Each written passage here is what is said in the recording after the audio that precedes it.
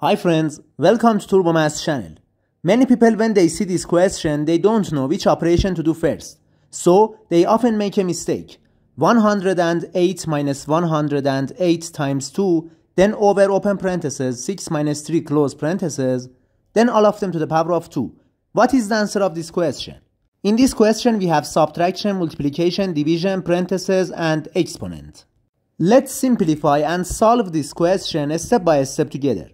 The question is 108 minus 108 then times 2 divided by open parentheses 6 minus 3 close parentheses then all of them to the power of 2.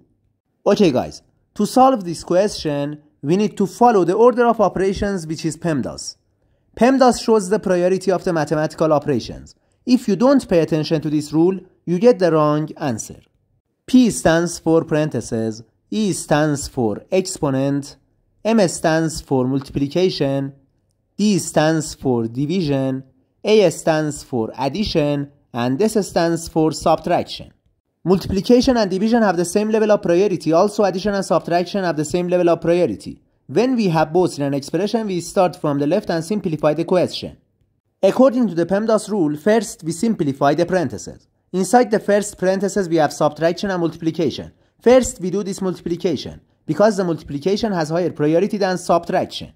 Negative 108 times 2 equals negative 216. 108 minus 216. The final answer of this parentheses equals negative 108. Now the question is negative 108 divided by open parentheses 6 minus 3 close parentheses then all of them to the power of 2. Now we have division, parentheses, subtraction and exponent. First we simplify these parentheses. 6 minus 3 equals 3. Now we have negative 108 divided by 3 to the power of 2. Okay guys, in this step we have division and exponent. First we simplify this exponent. 3 to the power of 2 equals 9. Now the question is negative 108 divided by 9. Okay guys, negative 108 divided by 9 equals negative 12.